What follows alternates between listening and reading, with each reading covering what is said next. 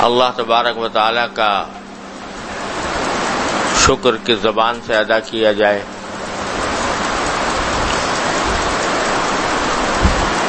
कि उसने अपने फजल करम, अपनी रहमत से रमज़ान का महीना आता फरमाया। इस मौके पर चंद मुतफर्रिक बातें हैं।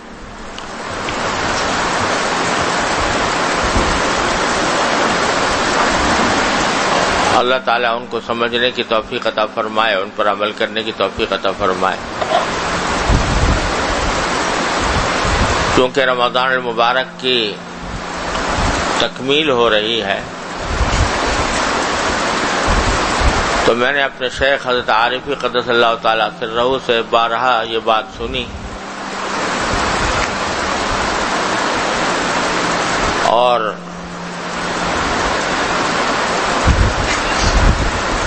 न जाने कितनी मरतबा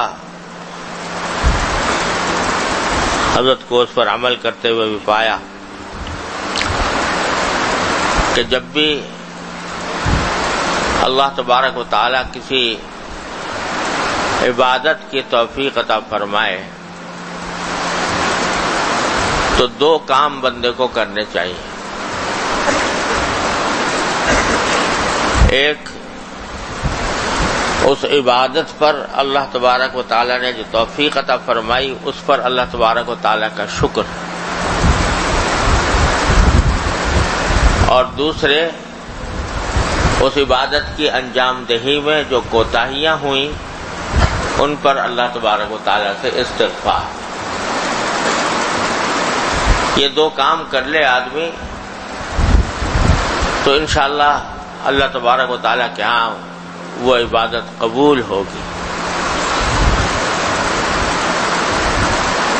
शुक्र इस बात का कि उसने तोफ़ी अता फरमाई। और हज़रत ही से मैंने सुना, कभी किसी किताब में देखने की नौबत नहीं आई। कि हज़रत सिद्दीक अकबर रज़ी अल्लाह तु का ये इरशाद है कि जब कोई बंदा किसी इबादत की तकमील पर यह कह दे कि अल्हम्दुलिल्लाह, अस्तगफिरुल्लाह। अल्हम्दुलिल्लाह, अस्तगफिरुल्लाह। तो शैतान कहता है कि इसने मेरी कमर तोड़ दी। क्योंकि शैतान के बहकाने के जो दो बुनियादी रास्ते थे, वो इसने खत्म कर दिए। शैतान बाज़ात तो इस तरह बहकाता है कि किसी अमल की जब तोफीक हो गई, किसी इबादत का की तोफीक हुई तो शैतान ये बहकाता है, ये तेरी क्या इबादत है? ये तो टक्करें मारी तूने। खाना पूरी की। इबादत तो वो है जो साहब कराम ने से मनकूर है कि जब नमाज़ के अंदर खड़े हुए तो परिंदे परिंदा की तरफ़ दिमाग चला गया। जो बाग के अंदर फंसा हुआ था, उसकी तरफ़ दिमाग चला गया तो सारा बाग सदका कर दिया। यानी एक लम्हे के लिए परिंदे की तरफ़ ध्यान चला जाने से, जाने को भी ये समझा कि नमाज़ अधूरी रह गई और नमाज़ कामिल नहीं हुई, लिहाजा सारा बाग सदका कर दिया। पहरा देते हुए तीर आकर लगा सीने पर। और नमाज़ जारी रखी। नमाज़ को कता नहीं किया। तो इबादतें तो उनकी थी साहब कराम की, और उसके बाद सलफ की, जिनके बारे में इतलाहत आती हैं, खबरों उसमें रिवायात में मालूम होता है कि रात को जब खड़े होते तो इस तरह खड़े होते जैसे कि लकड़ी खड़ी हुई है। कोई हरकत नहीं होती थी। मुसलसल लंबे खड़े रहते थे। वो थी इबादतें। ये तुम्हारी इबादतें क्या है?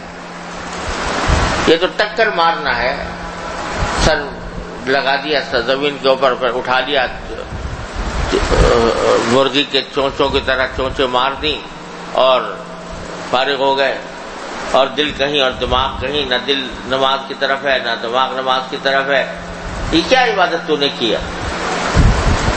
तो शैतान बाद इस तरह वरगलाता है कि जो कुछ इबादत की तोफीक हो गई, उसको, उसकी नाकदरी पैदा करता है दिल में, कि ये कुछ भी नहीं किया तूने।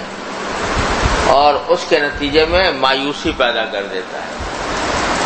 कि भाई मैंने जब कोशिश तो की पूरी, लेकिन मुझसे बन पड़ा नहीं। और वो मैार हासिल नहीं हो सका जो हज़रत साहब कराम को हासिल था, जो बुजुर्गान दीन को हासिल था। लिहाजा मैं तो मैं तो मेरे बस का काम नहीं है ये। अब मायूसी पैदा हो गई।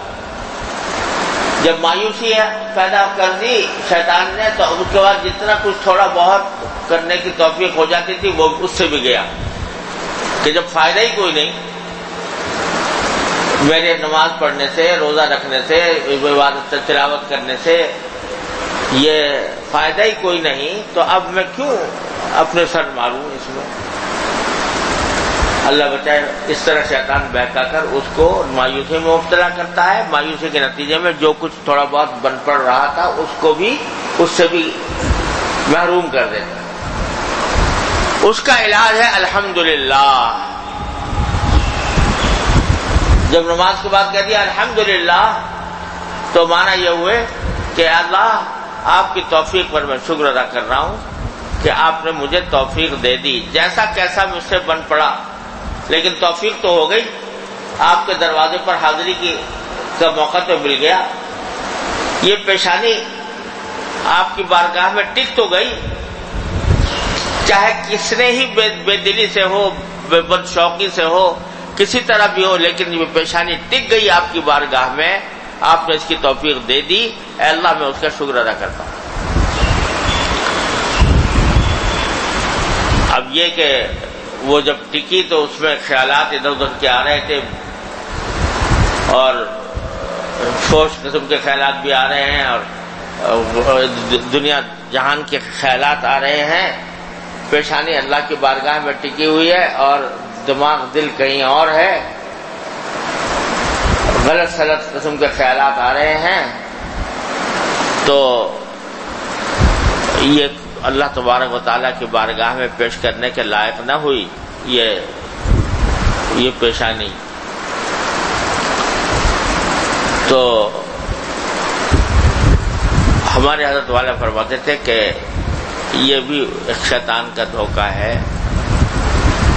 अरे, पहले इस बात पर अल्लाह ताला का शुक्र तो अदा कर लो कि पेशानी टिक गई। बारगाह लाही। किस कैफियत के साथ टिकी? ये बात की बात है, लेकिन टिक तो गई ना। और ये अल्लाह ही की बारगाह में टिकेगी, कहीं और टिकेगी नहीं। अल्लाह ताला की बारगाह ही में टिकेगी, कहीं और नहीं टिकेगी।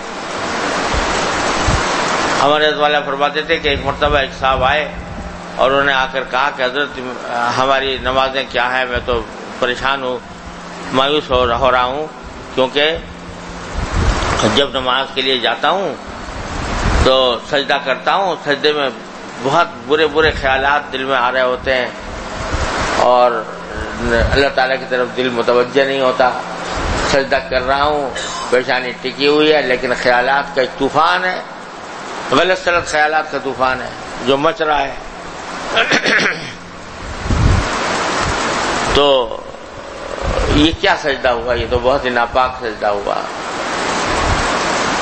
तो हमारे द्वारा ने फरमाया, फरमाते हैं, मैंने उनसे कहा कि हाँ भाई, अगर ये नापाक सजदा है, गंदा, फोश ख्यालात वाला, गंदा सजदा तो ये सजदा अल्लाह ताला के बारगाह में करने के लायक तो है नहीं। ऐसा करो, ये सजदा तुम मुझे करो। मैं गंदा आदमी हूँ। तो गंदा सजदा गंदे को करो एकदम से हज़रत क्या दे कह दिया आपको कैसे करूँ? ताकि जब कह रहे हो कि गंदा सजदा है, अल्लाह की बारगाह में पैदा करने, पेश करने के लायक नहीं है तो फिर ये अल्लाह ताला के साथ को पेश करने के लायक नहीं, गंदे आदमी को कर दो, गंदा। अब वो जनाब, खामोश, कि जी तो नहीं हो सकता। कहा कि मालूम हुआ कि ये पेशानी कहीं और टिक नहीं सकती सिवाय अल्लाह जला जलालू के। गंदा हो या गंदे ख्याल आ रहे हो, बुरे ख्याल आ रहे हो, लेकिन पेशानी वही टिकेगी जाकर अल्लाह तबारक ताला तो खुदा के बंदे पहले इस नेमत पर अल्लाह ताला का शुक्र तो अदा कर लो कि तुमने, तुम्हें अल्लाह ताला ने ये तौफीक दे दी। अब बेशक ये बात है। दूसरी कि अल्लाह ताला ने तौफीक अदा फरमाई उसका शुक्र लेकिन मैं उसका जो हक अदा कर, करना चाहिए था वो मैं अदा कर नहीं सका। जिस तरह के सजदे करने चाहिए थे वो नहीं कर सका। जिस तरह के रुकू करने चाहिए थे वो नहीं कर सका। जिस तरह की तिलावत करनी चाहिए थी वो नहीं कर सका। जिस तरह ज़िक्र करना चाहिए था वो ज़िक्र नहीं कर सका। दिल कहीं था दिमाग कहीं था। बस एक खाना पूरी के तौर पर सारे काम कर रहा था। तो ये कोताही किसकी थी? ये मेरी थी। लेकिन मेरे मालिक ने ऐसा कर्म फरमाया हुआ है कि कोई आदमी कोताही, कितनी बड़ी कोताही हो, जब उसके ऊपर इस्तफार तौबा कर लेता है तो मेरा मालिक अपने फजल करम से उसको मुआफ कर देता है। उस कोताही को मुआफ कर देता है। और इस्तफार के नतीजे में वो बिल्कुल बेहकीकत चीज़ भी हकीकत वाली बन जाती है।